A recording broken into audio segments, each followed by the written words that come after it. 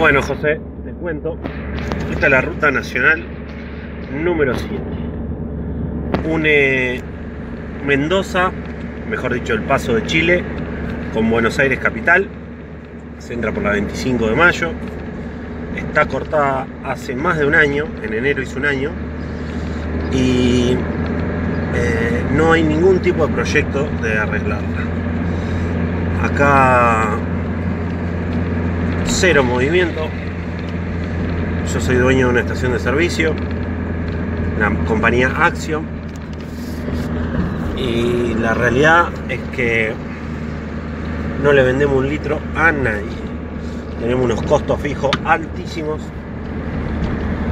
Este mes me vino 44 mil pesos de luz. Y tengo 15 empleados. Y así estamos cero obra, ruta clausurada. Estaciones sin control, por ejemplo.